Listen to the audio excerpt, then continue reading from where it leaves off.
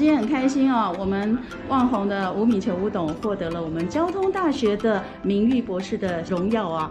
那我们邀请到了郝挺郝董事长，他代表我们交大校友总会来呃表达他的祝贺。首先，我真的要恭喜命哈，就我们的吴敏球博士哈，这是我们的光荣，也是我们交大校友的光荣哈。我们今天呢，五月十八号能够颁证名誉博士给吴敏球博士，那真是太好了。我跟命呢是在三十几年前啊，我们在戏谷啊，就是一个住在山上，一个住在山下，我们都是邻居哈。那他到台湾来，等于是我们戏岛哈，在这边来奋斗。今天呢有这么好的成就啊，我们身为朋友，也身为校友呢，感到万分的荣幸啊。那他。这努力的啊成果啊，今天呢展露在我们大家每一个的校友的面前啊。我们除了今天呢，希望他呢身体健康呢，万红呢能够越做越好。所以请郝总跟我分享一下当年你们在戏谷的有趣或是温馨的小故事。基本上呃，命他的小孩呢跟我的小孩呢是上同样的呃幼儿园，所以呢有的时候呃接送的时候就会碰到面啊，会聊到。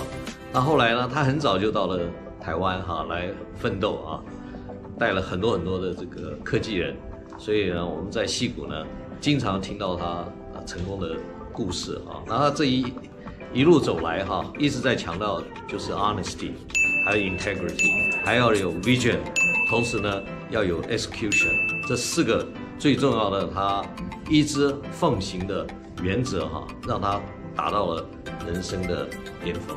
我们真的很感到光荣，啊，为他感到高兴。好，谢谢郝董，好，谢谢你，谢谢你。邀请你一起来看看这篇非常精彩的故事。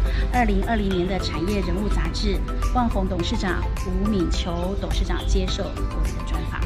如果你想进一步的认识这些精彩的产业人物，他们如何在自己的产业里头、自己的职务上面，怎么样克服挑战、持续创新？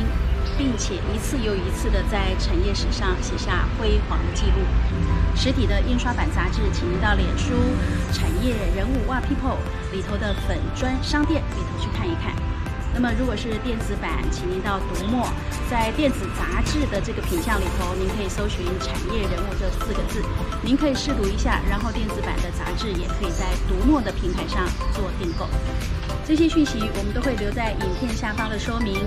还有，如果您有任何问题，也欢迎您留言给我们，随时联络。如果您跟我一样关心产业的脉动，请您按赞、订阅、留言、分享，和我们一起为产业加油。